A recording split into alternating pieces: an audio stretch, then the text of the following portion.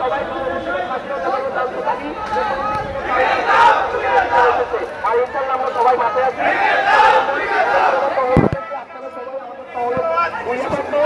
ভালো